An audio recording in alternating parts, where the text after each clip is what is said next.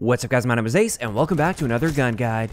This is a series where I go into great detail with all of the stats of every one of the weapons in Black Ops 4 multiplayer. In today's episode, we're going to be moving on to the Mozu Revolver, which is an extremely powerful secondary in this game. It has a damage profile of 62, 46, 32, 29. This means in core game modes, it's going to be a 3 to 6 shot kill, and in hardcore, it's always going to be a 1 shot kill, unless you're shooting through something, or unless the enemy has armor at really long ranges, or the third scenario is if the enemy has their health boosted by crash. Now the Mozu is semi-auto, and the rate of fire cap I was able to calculate is roughly 383 rounds per minute. This means that our statistical minimum time to kill without headshots and without attachments in core game modes is going to be 313 milliseconds in the 3 shot kill range, which is very fast and extremely competitive, but it does drop all the way off to 783 milliseconds in the 6 shot kill range, which is extremely slow and not very competitive at all. As for the Mozu against people that are using armor, it's actually quite good against them. It will only ever take you one extra shot to kill against an armor user, which is pretty good considering this is a secondary. As for our range values, as you can see here, our 3-shot kill range is quite solid. It extends out to approximately 18 meters. Then our 4-shot kill range extends out to 25 meters. After that, our 5-shot kill range will extend out to roughly 30 meters. And then finally, after that, it's going to be a 6-shot kill out to infinity. This is actually a really good range profile for a secondary weapon, and you can make that a whole lot better with the long barrel attachment, which will extend all of your range values by 66%, which is a pretty massive increase. Although I would say most of the time I don't feel like it's necessary because this gun is really best suited to those close to mid-range situations anyways, and therefore most of the time I don't really bother with long barrel.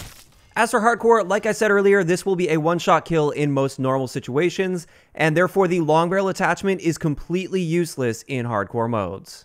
As for headshots, we get a standard headshot multiplier of 1.1, which gives us a headshot damage profile of 68, 50, 35, 31. What this means is in some of those ranges, if you hit every bullet to the head, it will reduce the number of shots it takes to kill, but typically this isn't really all that practical, and therefore I would say if you're not using high caliber or the skull splitter operator mod, headshots are generally not worth going for.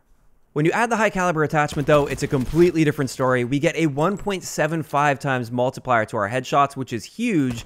This takes our headshot damage profile to a 108, 80, 56, 50. And with this, one single headshot will always be helping and reducing the number of shots to kill, and in situations like the standard 4 shot kill range, hitting 2 shots to the head in a row will reduce the number of shots it takes to kill by 2, so now it's just a 2 shot kill. And this gives you an insanely fast time to kill. So if you don't have that Skull Splitter Operator mod, don't worry, just use high caliber and you still get really consistent headshots and an extremely fast time to kill that most guns can't compete with. As for hipfire, I wouldn't necessarily recommend it with the Mozu. It is the second worst in the pistol category. It's just a little bit better than the RK7. And since you only have six rounds per cylinder, usually I'll try to avoid wasting them by hip firing, and I want to try and be as accurate as possible with this gun. Speaking of accuracy, the first aspect of that is going to be your idle sway. This has to do with your first shot accuracy. And as you can see here, the Mozu has very little idle sway and it's relatively slow moving, although it does seem to be moving a little bit faster than the idle sway with the RK7 as well as the Strife. So if you did want to reduce this even more for those super precise shots at longer ranges, I would recommend using the stabilizer attachment, which as you can see, pretty much eliminates idle sway.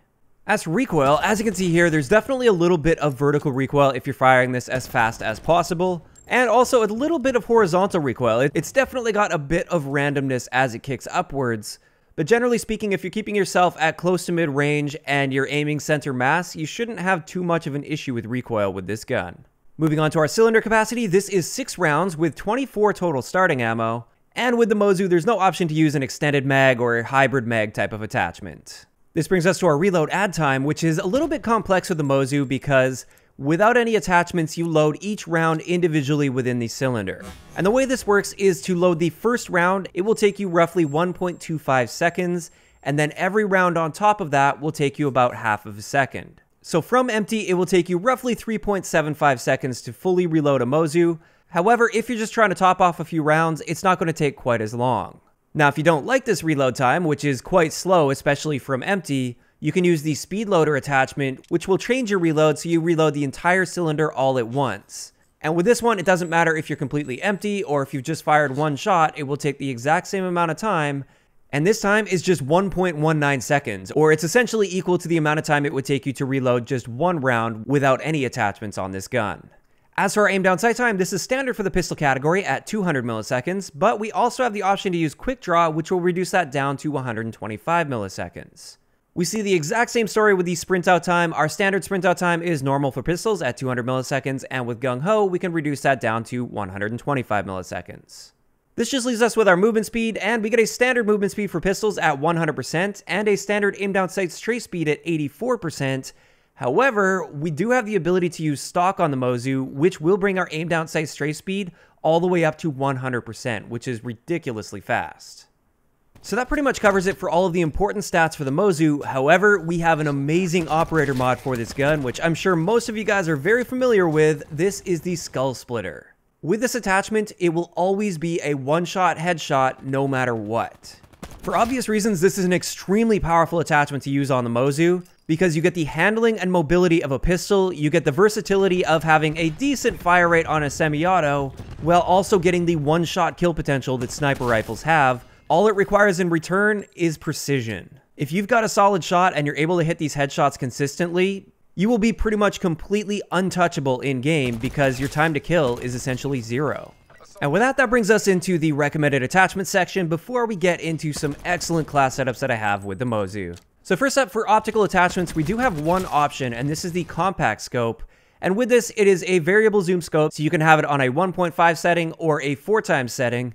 And for a lot of people, they really enjoy using this compact scope, especially if they're using Skull Splitter because they get that added precision while aiming for the head at those longer ranges. For me, honestly, I can take it or leave it. I like the iron sights on the Mozu, and I generally have no issue with that. But sometimes I've got that extra class point available, so I'll throw on this compact scope. As for the other attachments, a lot of them are very, very good to use on this. High caliber, like I said, if you're not using the skull splitter attachment, I would definitely recommend high caliber because headshots will still be extremely powerful for you and you can get an amazing time to kill. The stock attachment can also be good. I feel like it's unnecessary because your aim down sight strafe speed is already very fast without it, but if you want to get extreme with it, you can definitely throw stock on there. Long barrel can be a very solid attachment in core modes because it increases all of your ranges by 66%. But like I said earlier, I don't feel like it's necessary by any means. I think the ranges are already solid, and if you just keep yourself at those close to mid ranges, you normally won't have too many problems with the ranges. And something big I wanted to point out with Long Barrel 2, I did some tests when the game first came out, and Long Barrel 2, which is supposed to increase your muzzle velocity, did absolutely nothing. Like, literally nothing at all. I tested frame by frame both with and without Long Barrel 2, and the bullet would always register on the exact same frame.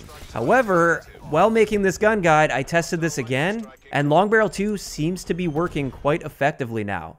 Your shot will now register in roughly half the number of frames, which at extremely long ranges you'll definitely be able to notice. However, in the average situation, the average gunfight, this will be a negligible impact. So while Long Barrel 2 doesn't appear to be completely useless anymore like it appeared to be when the game first launched, I still don't feel like it's really a worthwhile attachment. Yes, at really long ranges, especially when the enemy is moving perpendicular to you, Long Barrel 2 will definitely help. However, most of the time with this gun, you're keeping yourself at close to mid ranges, and in those situations, you will literally never notice a difference between having Long Barrel 2 and not having Long Barrel 2 equipped. This brings us to the speed loader attachment, which is an amazing choice on this gun. I highly recommend this, especially if you're using it as your primary weapon. Quick draw is completely unnecessary. I feel like the aim down sight time is already very, very solid, so I never use quick draw on this gun. And this just leaves us with Stabilizer, which, if you remember from the idle sway tests, it's definitely not necessary, but it is nice to have, especially if you're using the Skull Splitter and trying to pick people off at somewhat longer ranges. So finally, this leaves us with a couple great example classes I have for you guys. The first one here is really designed for core modes, and this is using that Skull Splitter attachment. And with this, we're using the speed loader, the stabilizer, as well as obviously skull splitter. We've got stim shot for our gear so we can get back in the fight immediately after taking damage. Our equipment is going to be special issue. Then for perks, we've got scavenger because you burn through those 24 rounds pretty quickly with this gun. Gung ho so we can sprint out pretty much immediately, especially if we break our sprint by aiming down sights. And then finally, dead silence, which is just one of my crutches in this game because I hate hearing my own footsteps and I hate being sound hoard by others. As long as you're aiming for the head, this class setup is incredible, and this will compete very, very well with the primary weapons in this game, and I find it really fun and rewarding to use as well. Now, of course, keep in mind if you don't have Skull Splitter unlocked yet, maybe you're still ranking up the gun, you can absolutely substitute that for high caliber, and then you can spend that extra point on something else if you'd like, like a compact scope. But if I had to choose in core game modes, this is how I would be running the Mozu. As for hardcore modes, I've got an excellent class setup for you here. With this, we're using the compact scope, so we can treat this kind of like a sniper rifle, but also something that's really viable and effective up close. Once again, we've got that speed loader attachment, which is pretty much necessary, I feel, if you're using this as your primary weapon. And once again, we've also got stabilizer. Our gear is going to be body armor, so we can often soak up a bullet within hardcore, which will allow us to win a few more gunfights. Our equipment is once again special issue. Perks are going to be Scavenger, Gung Ho, Dead Silence, as well as Team Link. And I've said this a lot before in previous episodes of Gun Guides, Team Link is extremely powerful in hardcore modes. With this, you're going to have a one-shot kill at all ranges, it's going to act like a sniper as well as a pistol up close, and this gun is very, very dominant in hardcore modes. And with that, that's going to wrap up today's gun guide on the Mozu. As always, I'd like to know in the comment section below, what do you guys think of this gun? Do you think the Mozu is really powerful, really weak, somewhere in between? Personally, I absolutely love this gun. It is probably my favorite secondary, mainly because that Skull Splitter attachment is so much fun to use. But even if I'm just using it as a secondary weapon to finish off kills when I'm mainly using my primary weapon, I really like the Mozu for that as well. It's got a great time to kill even without attachments at all, and therefore I definitely give the Mozu two thumbs up. If you guys have missed any of the previous episodes of Gun Guides, we've covered all of the guns now except for the shotguns as well as the KAP 45, which I will be covering the KAP 45 next. I will leave a link to the playlist down below. If you enjoyed the video, a like rating is always appreciated, and don't forget to subscribe for more if you haven't already. I'll talk to you guys next time. Yeah.